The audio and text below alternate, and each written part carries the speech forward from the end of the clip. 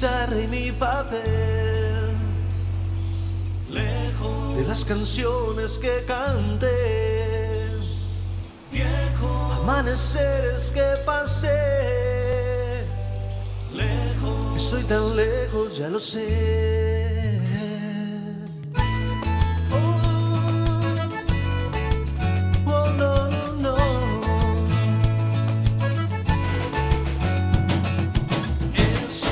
Recuerdos que ahora se ven. Son los que me hacen renacer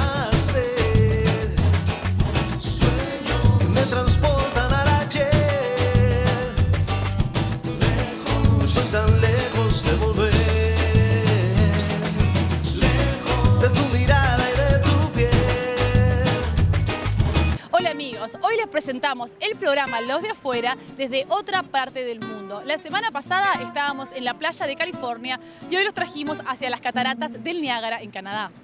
Con colaboradores y corresponsales en diferentes partes del mundo, tratamos de mostrarle cómo el Uruguay vive y vibra a través de su gente de afuera. Démosle comienzo a nuestro programa. En el segmento de turismo, Andrea Lafitte nos presenta las celebraciones realizadas en Uruguay en conmemoración del Bicentenario. María Laura Guerrero nos trae un reportaje de una pequeña uruguayita con aspiraciones olímpicas. En el personaje de la semana tenemos a un doctor uruguayo que ha hecho un gran aporte a la medicina y el Uruguay. Cubrimos las elecciones internas del 2012 de un partido político uruguayo en Nueva Jersey y en Canadá. Y culminamos con el tan esperado y prometido reportaje desde Australia. Mucho para cubrir en media hora, así que démosle comienzo al segmento de turismo con imágenes del Ministerio de Turismo y Deportes de Uruguay, presentado por Andrea Lafitte de Andreas Travel. Hola Claudia, acá estamos en el centro de Los Ángeles, frente al Walt Disney Concert Hall, donde hace unos años eh, Jorge Drexler hizo un concierto súper concurrido. Hoy en el segmento de turismo tenemos los festejos que se realizaron por el Bicentenario en Montevideo durante el año pasado. Adelante con el reportaje.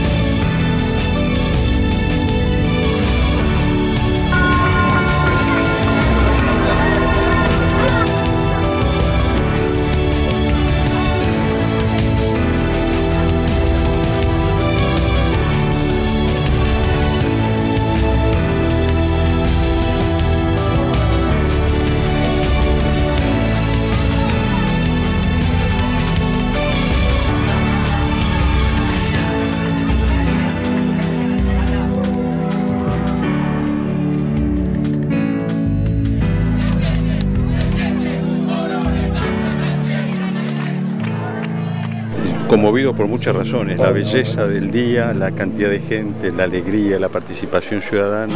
La jornada arrancó en la mañana temprano con la llegada de la caballería que estaba acampando en la ruta 33, en la escuela número 59, que fue donde acampó Artigas hace 200 años. Luego la organización del desfile escolar, el desfile escolar del acto empezó puntual a las 10 de la mañana. Dio el comienzo un pericón online a las 12.30 eh, que se transmitía en directo desde Uruguay. Luego comenzó la parte protocolar, este, la llegada del presidente, las oratorias. Bárbaro, muchas gracias.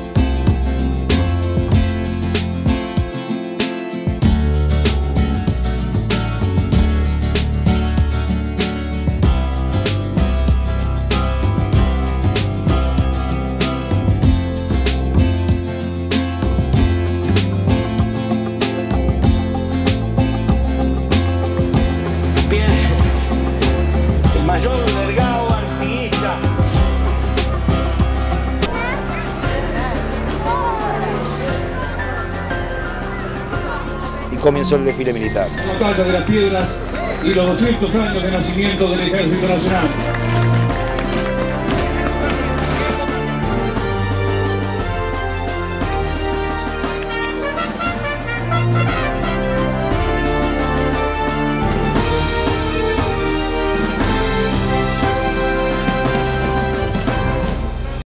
No se vayan, que después de la tanda regresamos a Nueva York a descubrir el personaje de la semana. Entérate de todo lo que pasa en el fútbol uruguayo en 90minutos.com.uy, la web del fútbol uruguayo. Acá, en la pizzería Montevideo, tenemos todas las comidas clásicas del Uruguay, para que extrañes un poquito menos a mamá.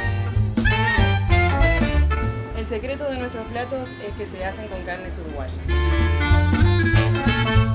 Vení, acércate a la pizzería Montevideo, que siempre un amigo encontrarás.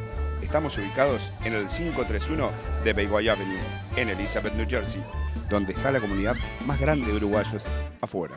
Si el gusto que gusta tu gusto es el gusto que gusta mi gusto, tú gustas de los sándwiches, masas y saladitos del Emporio de los Sándwiches. Venga a conocer nuestro nuevo local pegadito al anterior, 898 Wilson Avenue West, Toronto.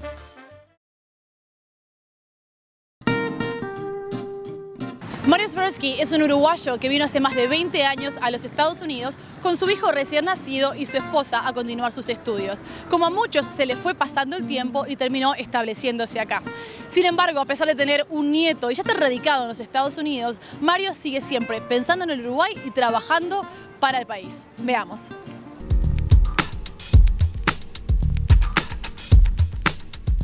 Tuve tres bicicletas y me las robaron las tres. Eh, los robos, creo que Nueva York, Nueva York es la peor ciudad de Estados Unidos en cuanto a robos de bicicleta. Eh, no hay cadena que sirva, es un desastre. Entonces esta la plegas en 15 segundos, es chiquitita y la llevas contigo a tu oficina o, o la puedes llevar en el ómnibus o dejarla en tu casa. Aquí estamos con Mario Sversky, un doctor de NYU, uruguayo, que nos va a contar un poquito más de él. Contanos un poquito qué es lo que haces acá en New York University, en el hospital de New York University. Eh, hago investigación científica y el foco de mi investigación son los implantes cocleares, que son eh, prótesis neurales para restaurar la audición en gente que es completamente sorda. Eh, y es en lo que he trabajado desde que vine a Estados Unidos hace muchos años. ¿Cuál es la percepción del uruguayo en Estados Unidos? Si es que existe alguna, ¿no? es lo que te iba a decir, el uruguayo no existe. Eh, y les cuesta un poco clasificar porque no entramos en el perfil típico del latino que vive en Estados Unidos.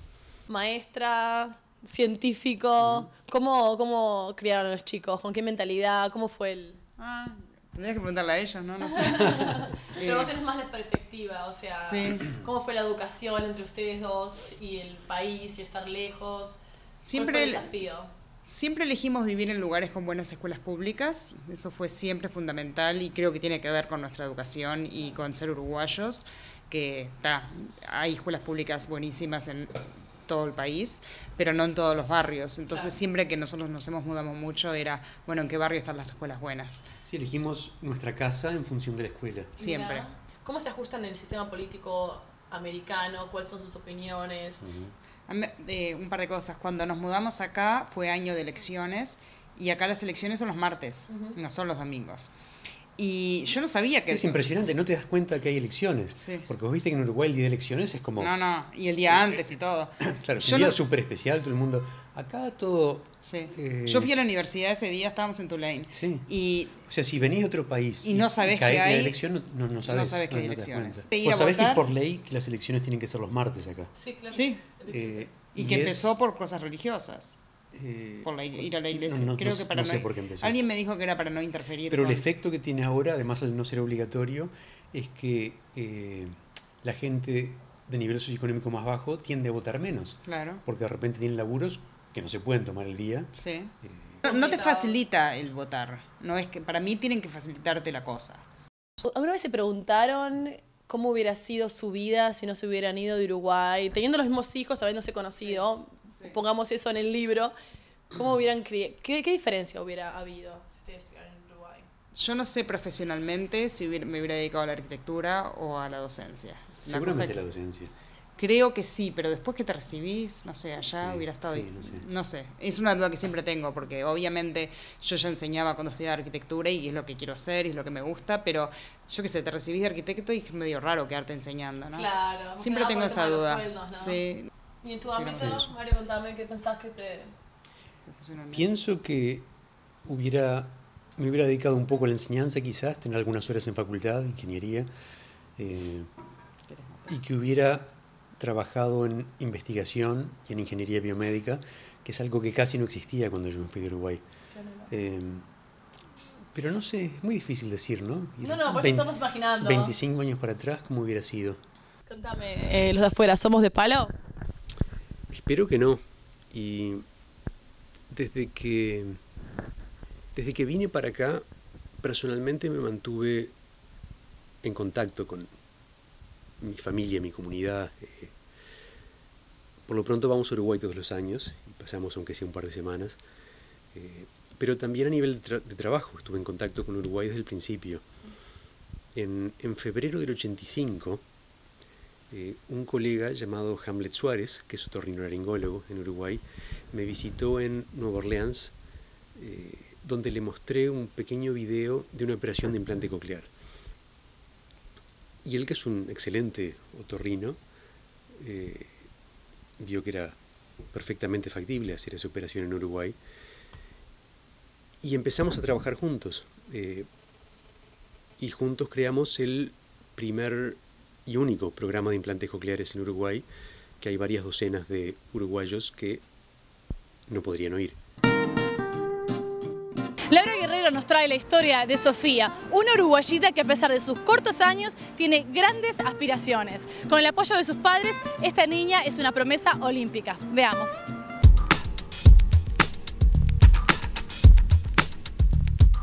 Muchas gracias Claudia y para el informe de hoy hemos llegado hasta un gimnasio en la ciudad de Toronto a donde vamos a conocer a la reciente ganadora del campeonato de la zona este de Canadá en gimnasia artística. Sofía Moraes tiene apenas 11 años. Ya van a ver todo lo que hace.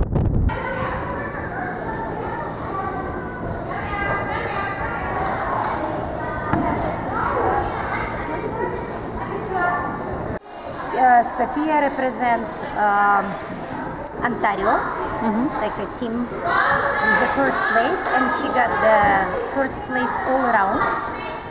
First place with the team, and what you got? Sofia Moraes, Ontario.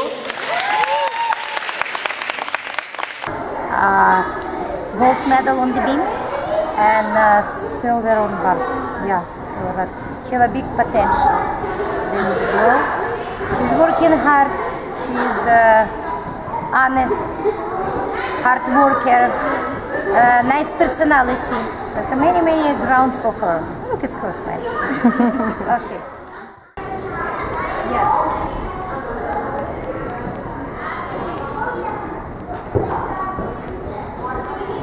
Bueno Sofía, una linda profesora y muchas palabras de aliento. ¿Cómo te sientes en estos momentos? Ah, muy bien, muy orgullosa de todo.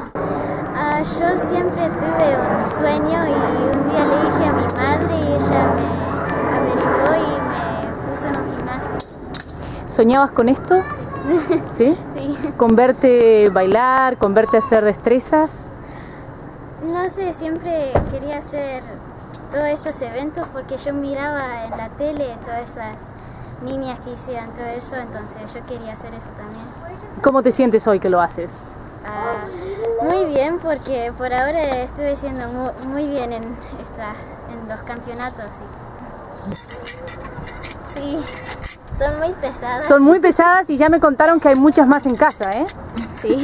¿Sí? Sí. ¿Cuántas más? ¿Cuántas, ¿Cuántos trofeos, cuántas medallas? Yo conté, creo que una vez, yo tengo como 48 y algo. Wow. ¿Cuál es la rutina de Sofía para llegar a ser y lograr todo esto que vemos aquí? Pongo mucho trabajo en mi entrenamiento y siempre escucho a, a las coaches para ver qué me dicen y para ver cómo lo tengo que hacer mejor. Eh, ¿Te sientes presionada a veces o lo, lo haces con mucho gusto, lo disfrutas? Am, cuando empiezo siempre hay una- un poquito de presión, pero después cuando tengo lo que puedo hacer y lo hago bien, estoy, lo disfruto más. Qué bien. ¿Y cuál es tu sueño ahora? Ya que, ya que estás de alguna manera cumpliendo ese sueño que le habías contado a mamá, ¿cuál es tu sueño de ahora en más? Ah, ahora yo, yo tengo un sueño de ir a las Olimpiadas y representar Canadá o Uruguay. Pero si puedo, sí, en, en 2016 voy a probar. Bien, ojalá eso se cumpla. Y antes de eso se vienen las nacionales, Sí, las, las- el campeonato a nivel de Canadá. ¿Qué expectativa tienes para este campeonato? Ah, bueno, es mucho ah, trabajo para llegar a ese nivel y am, estoy, estoy muy... que yo quiero llegar ahí para representar Ontario y Canadá en otras ciudad- ciudades y provincias y todo. Así que mucha expectativa. ¿Y estás trabajando duro para eso? Sí. Bueno, ojalá lo logres. Y tenemos a papá y a mamá acá. Un apoyo fundamental, ¿no? Porque me imagino que esto no ocurriría si no hay un vehículo que, que trae a Sofía al gimnasio, si no hay un horario en el que arreglar la escuela y el gimnasio. ¿Cómo se combina todo esto como papás Ah, de Sofía? es- continuamente nos estamos hablando, hoy quién la lleva, hoy quién la va a buscar, y está el hermano mayor también que da, que da una mano. Este, es, es bastante riguroso. El horario de ella se puede hacer porque mi horario de trabajo es muy flexible, este, pero nos arreglamos, es, nos compartimos ese trabajo entre los tres.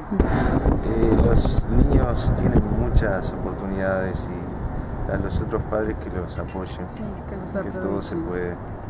Y es la mejor manera también de integrarse ellos, uno mismo también integrarse y, un- y estar un poquito allá en nuestro país, un poco acá. eh, Es necesario además, ¿no? Sí. es necesario. Es Y se integra toda la familia porque al estar ellos integrados nosotros estamos apoyándolos y somos parte también de, de los triunfos y la alegría de nuestros hijos. ¿no? ¿Has sentido miedo eh, tú, Sofía, alguna vez? Sí, muchas veces, en realidad, porque cuando hay algo nuevo y es un poquito difícil, siempre estoy un poquito como, vamos a ver cómo está. Claro. Y cuando lo lográs hacer y cuando se pasa ese miedo, ¿qué, qué queda? Está como, ah, qué bueno que lo logré y qué lindo lo que, lo que hice, ¿no? Cerramos un nuevo informe especial desde Canadá, desde la ciudad de Toronto, de Laura Guerrero, para los de afuera, Latinoamérica Televisión. En el próximo bloque nos vamos hasta Australia. No se vayan. Entérate de todo lo que pasa en el fútbol uruguayo en 90minutos.com.uy, la web del fútbol uruguayo. Acá, en la pizzería Montevideo, tenemos todas las comidas clásicas del Uruguay, para que extrañes un poquito menos a mamá. El secreto de nuestros platos es que se hacen con carnes uruguayas. Vení, acércate a la pizzería Montevideo, que siempre un amigo encontrarás.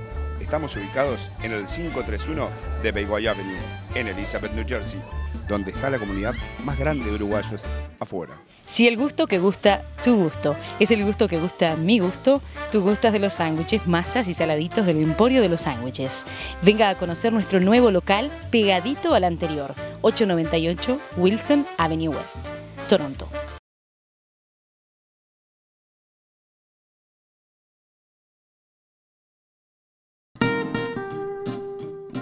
Se calcula que en Australia hay como 12.000 uruguayos residiendo ahí desde los años 70. A continuación tenemos un reportaje especial enviado desde nuestro corresponsal, Juan José Sánchez. Si bien lo hizo con una cámara casera, está hecho con mucho amor. Veamos.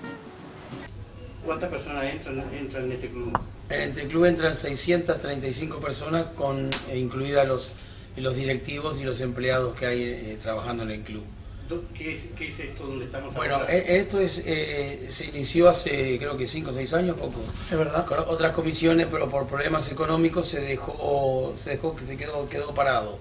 Y con la idea de, como de hacer una rifa, eh, se, se volvió de vuelta a, a trabajar y ya, como van a ver, ya casi está terminado. ¿Cuántos uruguayos viven en Sydney aproximadamente? Hay aproximadamente con los hijos nuestros, por ejemplo, como 10.000 uruguayos. ¿Cuántas horas le dedicas al club? Y ¿Cuántas horas, mejor dicho, cuántas horas le robás a tu familia? pregúntele a mi señora que me ama. Yo vivo acá. No, yo eh, puedo hacerlo yo. la- Sí, sí, sí, sí, sí. eh, Es para los dos. yo- no, no, porque hay cosas que es difícil hablar de uno, ¿no? Eh, él no puede andar, yo creo que le, le- le- le da un poco vergüenza, pero hoy, por ejemplo, eh, se hizo un montón de cosas, pasó todo el día en el club. Pasa tres, cuatro, cinco días en el club eh, y a veces le roba no solo a la familia, sino al trabajo, ¿no? Deja trabajo de lado. Hay que destacarlo porque si bien necesitamos de todo, ah, eh, yo, yo aprecio eso mucho, hay que apoyar a los que, a los que van al frente, ¿no? El club se llena cuando hay fútbol. Sí, eso es verdad. Eh, ya ha pasado como en el Mundial de Sudáfrica, que todos los partidos de Uruguay esto estaba lleno. La verdad Teníamos que dejar gente afuera, esto- hora. bueno, primero tuvimos que pedir permiso a la policía, como que acá, para que nos dejaran, porque eran de las 3 de la mañana, 4 o 2 de la mañana, y hasta las 6 eh, acá había gente.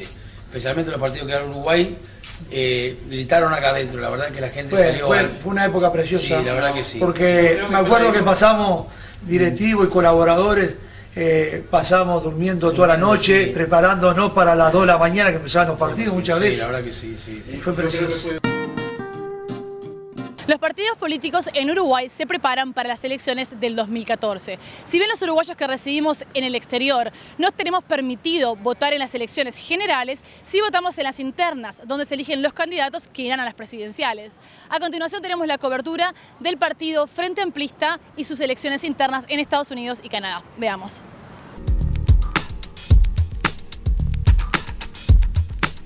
Eh, mi nombre es Roberto Petingi, eh, soy uruguayo y este, vi- he vivido acá por muchos años, este, del año 74, vine muy joven de allá de Uruguay. Eh, para mí fue una de las experiencias más hermosas que he vivido acá en Estados Unidos, el poder participar en una elección, eh, ver personas que vinieron incluso desde Washington a votar aquí, ha sido impresionante. Y como educador, soy profesor, eh, para mí es muy importante todo lo que sea un ejemplo de ejercicio democrático. Este fue un ejemplo no solamente para el Uruguay, para el mundo es eh, la participación de personas de uruguayos, de hijos de uruguayos, como el caso de mi hija, que con 17 años participó y vino a votar específicamente para poder, eh, y vino a sufragar. Para él, para mí fue extremadamente emocionante y bueno, y tendría que justamente promulgarse, tendría que expandirse mucho más a través de todo el mundo este ejemplo. como ciudadanos uruguayos, eh, como frente amplistas y con ese gran espíritu democrático que tenemos los uruguayos. Esta es una demostración más, una demostración más de la gran democracia que se vive en nuestro país. Hoy, para mí es un orgullo tremendo poder estar aquí y ser parte de esta realidad donde el Frente Amplio le muestra, no solo a la gente que está por aquí, eh, a mucha gente de la diáspora en el mundo que sí se puede y por supuesto estos, eh, estas generaciones que tienen la oportunidad de estar aquí presentes nuevamente para estar de este lado de una forma, eh, poniendo el, grano de arena para que el Frente Amplio sea eh, la fuerza política que todos deseamos por primera vez en la vida, bueno, lo tengamos aquí y hoy es una realidad y para mí poder votar aquí en Nueva Jersey, gracias al comité. Esto es para nosotros muy, muy importante. Este, esperemos que en el futuro se continúe realizando y que seamos cada vez más integrados al grupo, a los movimientos políticos dentro de Uruguay, sea hoy el Frente Amplio, sea cualquier otro partido. ¿no? Este, esto es muy, muy importante. A ver cuándo podemos votar las nacionales. Un momento muy especial, ¿no? Verdad que sí, estoy muy emocionada, es la primera vez que voto fuera del país. Muy, muy emocionada y realmente me siento feliz. Sí, yo creo que sí, ¿no? La democracia es la voz de todos y todas las voces tendrán que ser escuchadas. A mí me gusta el frente, pero bueno, otra gente tendrá otra opinión. Que, todos, que todas las voces se escuchan, pero eso es la democracia. Yo siempre voto. Eh, y me enojo con mis amigos que no votan, porque cuántas personas perdieron la vida para que hoy yo pueda poner ese sobrecito.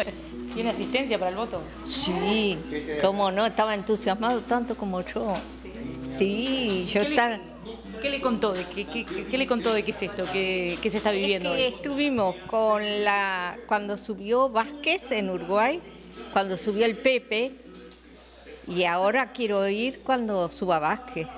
¿Qué significa este momento? Bueno, muy importante es ejercer un derecho cívico, participar con nuestros compatriotas, sentirte un poquito que estás en Uruguay este, y contribuir con la democracia que tenemos en Uruguay y apoyar a nuestro partido, el Frente Amplio. Como dijo un tipo, que no me acuerdo quién era, pero dijo, sí se puede. Y las elecciones, el voto del exterior, por supuesto que se puede. Y ahora lo estamos demostrando con qué eh, respeto y con qué claridad y transparencia se está haciendo aquí.